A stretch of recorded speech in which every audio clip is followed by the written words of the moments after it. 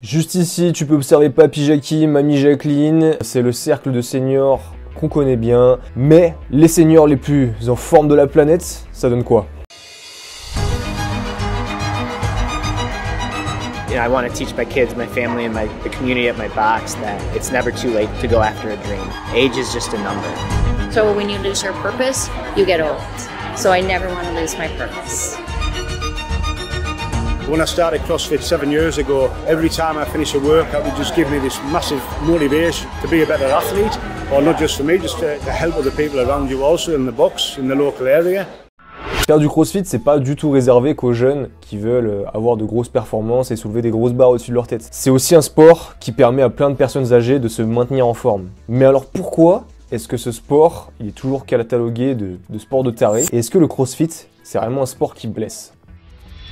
C'est en 1970 que Greg Glassman, un ancien gymnaste universitaire, et sa femme ont transformé en fait leur garage personnel en salle d'entraînement. Et c'est à partir de ce moment-là qu'ils ont inventé ce qu'on appelle aujourd'hui le concept de CrossFit. C'est seulement en 1995 que le premier centre officiellement affilié CrossFit a ouvert ses portes à Santa Cruz aux États-Unis. Le concept, il aura pris presque 30 ans avant de devenir populaire. C'est à partir de l'an 2000 que le couple crée enfin l'entreprise CrossFit, car CrossFit est une marque, et que le site crossfit.com, juste l'année d'après, est lancé, où chaque jour depuis cette année-là, est posté régulièrement du coup euh, un entraînement de CrossFit à réaliser. Je ne peux pas vous donner mon avis sur cette programmation, il y en a qui disent que c'est bien, d'autres que c'est moins bien. Moi perso, je m'en suis jamais servi et j'ai jamais vraiment regardé ce qu'il y avait dessus, je vous avoue. Donc, je peux pas vous conseiller. En 2012, le CrossFit explose et la norme, c'est de finir son entraînement comme ça. 8. Allez, Choco.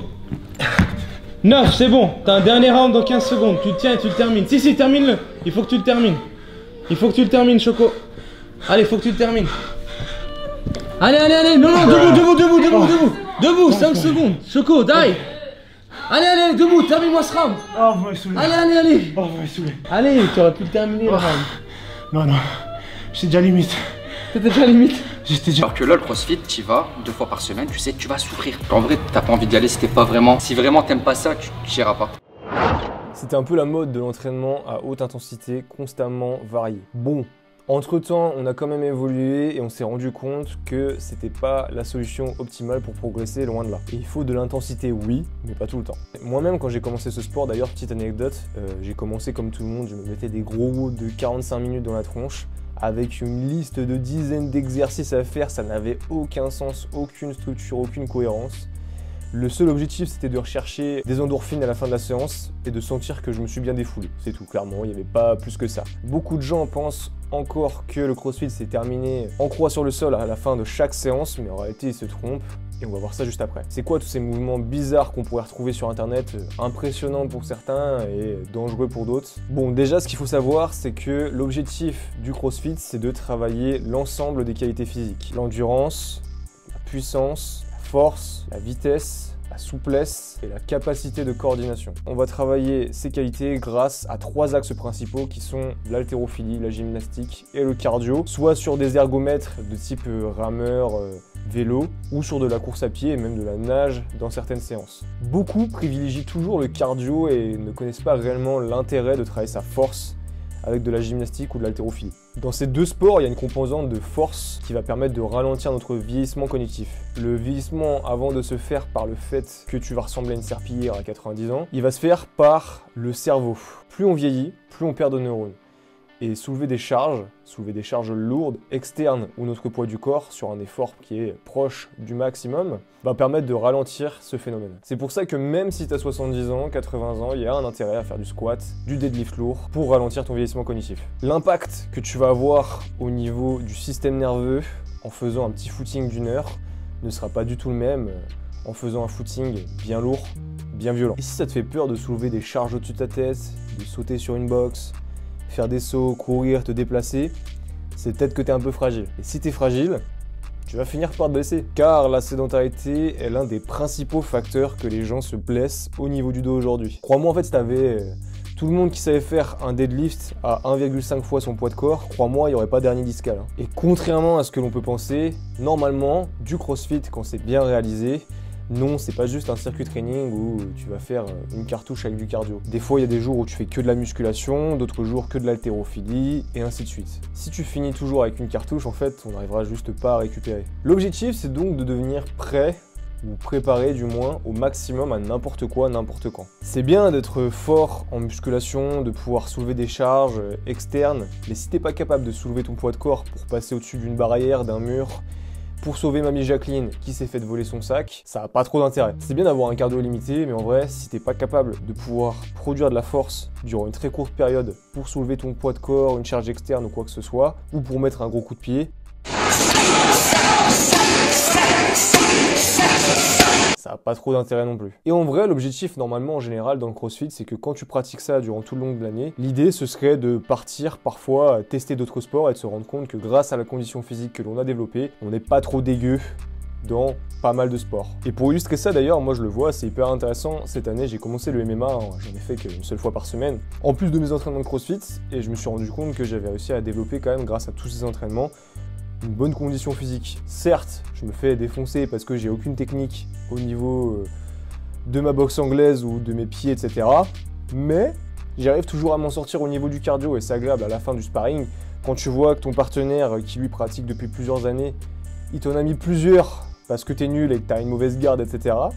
Mais au moins au niveau du cardio, euh, il va pas te battre là-dessus. Et c'est ça tout l'intérêt du crossfit, c'est que n'importe quel sport que tu vas aller pratiquer, tu sois pas délaissé au niveau de la condition physique, mais plutôt de la technique. Mais est-ce que ce sport nous permet vraiment d'être prêt à tout? Il manque quand même quelques cartes pour dire cela. Déjà, c'est dans le fait comme quoi on n'a aucune rotation et inclinaison de buste comme pourrait le faire un, un, boxeur avec un crochet du droit. On n'a pas vraiment non plus de changement de direction comme pourrait le faire un footballeur lors d'une course, ni de prise de décision. On n'a pas plusieurs choix effectués.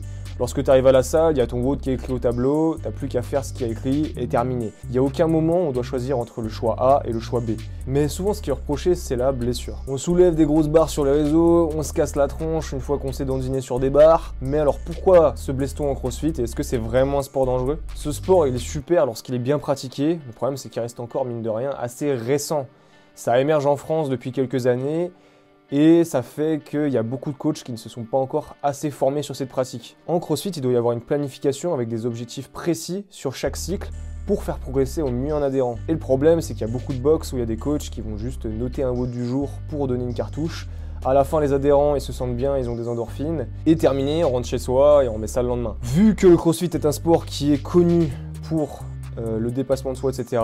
On s'imagine que c'est normal, on se dit que c'est comme ça qu'il faut terminer sa séance, et le public ne va pas forcément remettre en question ce genre d'entraînement. En plus de ça, faut le rajouter quand même, c'est que c'est un sport qui est très taxant au niveau des épaules. Forcément, du jour au lendemain, tu prends un fouteux qui n'a rien fait avec son haut du corps, mis à part euh, soulever des bières lors de la troisième mi-temps. Tu te doutes bien que si demain tu le mets à euh, se suspendre à une barre, soulever des charges au-dessus de sa tête, et qu'il n'a pas eu le bon travail au niveau du renforcement musculaire ou un bon travail de mobilité pour pouvoir le faire, il y a de grandes chances qu'il se blesse et malheureusement c'est ce qui arrive dans beaucoup de boxe. Mais alors, si ce sport blesse autant, pourquoi est-ce qu'il y a encore autant de personnes qui restent inscrites? La réponse est simple, c'est parce qu'il y a encore des box qui font du très bon boulot avec des coachs compétents et qui permettent vraiment à certaines personnes de se transformer littéralement, physiquement et mentalement. Il faut se dire qu'il y a certaines personnes qui n'étaient plus capables de sauter, de courir, et qui ont repris connaissance de ces fonctions-là grâce au crossfit. Moi-même, ça m'est déjà arrivé de rentrer dans une salle où j'ai vu une mamie squatter 60 kg. 60 kg. Mais comment faire pour s'assurer que l'on est entre de bonnes mains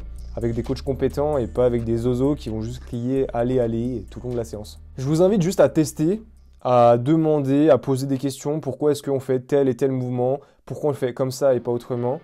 Peut-être qu'ils vont réussir à vous justifier ça avec euh, des explications anatomiques pourquoi pas aussi euh, leur demander quel est leur parcours de formation et s'il y a juste un BPGF, c'est un level 1, peut-être qu'il faut s'inquiéter un petit peu, mais après il y a toujours des exceptions à la règle. Souvent ce qui est critiqué, encore une fois sur ce sport, c'est le prix d'un abonnement à la salle. Bon déjà il faut parler des gens qui se plaignent des abonnements à la salle. Comme quoi c'est trop cher. J'ai envie de vous dire, en fait, tout dépend de ce qu'on vous propose. La qualité va avec le prix. Et plus normalement on monte en termes de qualité, plus le prix est censé être élevé. Putain, le pire, c'est les gens qui me sortent comme quoi Basic Fit c'est cher, 20 euros par mois. 20 euros par mois, Basic Fit c'est cher. 20 euros, c'est le prix d'une séance au cinéma avec un pot de popcorn, un petit panini que tu te fais en fin de soirée, et encore je suis gentil, c'est vraiment un petit panini, et après tu rentres. Tu as le choix entre ça une fois par semaine ou investir dans ta santé à long terme Parce que ce qui fera que tu pourras conduire une voiture à 80 ans, c'est pas combien de fois tu seras allé au cinéma, c'est qu'est-ce que tu as fait en termes de sport dans nos âges actuellement. Qu'est-ce qui justifie un tel écart de prix entre une salle de Basic Fit à 20 euros par mois et une salle de CrossFit qui pourrait monter aux alentours de 90 à 100 euros par mois? La différence entre les deux, c'est que tu vas retrouver un éducateur qui est compétent, qui est là pour te corriger. Parce que le CrossFit, c'est un sport dans lequel où tu as des mouvements, comme on l'a dit, qui sont hyper complexes. Et tu n'arriveras pas à apprendre tout ça tout seul. Il te faut quelqu'un qui soit là pour t'encadrer et pour te faire comprendre quand tu fais telle ou telle erreur. Ensuite, la différence, c'est que là, lorsque tu vas rentrer dans la salle, T'as pas besoin de te soucier de l'entraînement. La programmation, elle est déjà mise au tableau. T'as juste à faire ce qui a écrit et c'est terminé. Contrairement à une salle de type Basic Fit où tu aurais peut-être besoin de te prendre un programme externe ou quoi que ce soit. La programmation qui t'est proposée, c'est une programmation qui vise à te faire devenir complet. Mine de rien, le CrossFit, c'est quand même un sport qui est assez compliqué à programmer. Il faut réussir à mettre la bonne dose de cardio, la bonne dose de force, mettre suffisamment de renfort pour que mon athlète ne vienne pas se blesser il faut avoir quand même pas mal de connaissances pour réussir à programmer un entraînement de CrossFit. Et donc bah forcément ça aussi ça fait que l'abonnement sera plus élevé qu'une salle classique. Mais à terme, qu'est-ce qui fait que les gens restent inscrits? En fait, lorsqu'on va faire un WOD avec plusieurs personnes comme ça au fur et à mesure, il y a vraiment un sentiment de communauté qui se crée. C'est comme une épreuve l'entraînement de CrossFit du jour, surtout quand c'est des entraînements difficiles. On va par contre pour le coup cette fois-ci terminer en croix sur le sol. Mais ça, encore une fois, je le précise, c'est pas quelque chose qui est obligatoire si t'as pas envie de le faire. Personne ne t'obligera à le faire. Passer toutes ces épreuves au fur et à mesure des semaines, ça fait que il y a vraiment un esprit de communauté qui commence à se créer dans une salle. Les gens se félicitent et tout le monde se tire vers le haut pour progresser le plus rapidement possible. Mais alors ok, c'est cool, là on sait maintenant que le CrossFit c'est pour tout le monde, des jeunes euh, comme des personnes plus âgées. Mais c'est quoi exactement les vidéos qu'on voit sur YouTube?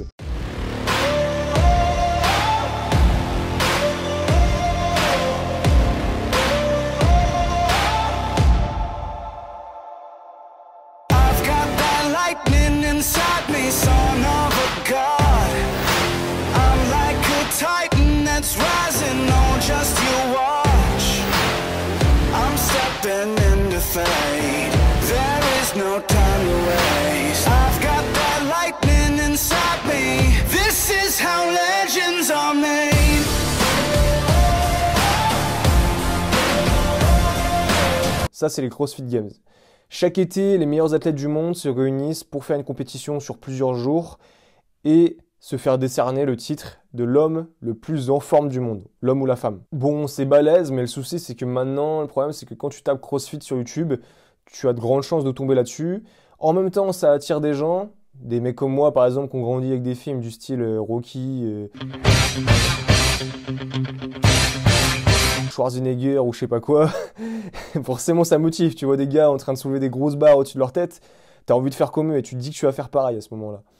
Mais ça déplaît aussi à certains et en vrai, j'ai envie de dire, ça peut se comprendre. Ça peut faire peur. Et justement, pour conclure, c'est vraiment ce message-là que je voulais faire passer dans cette vidéo, c'est que le CrossFit, c'est vraiment pour tout le monde.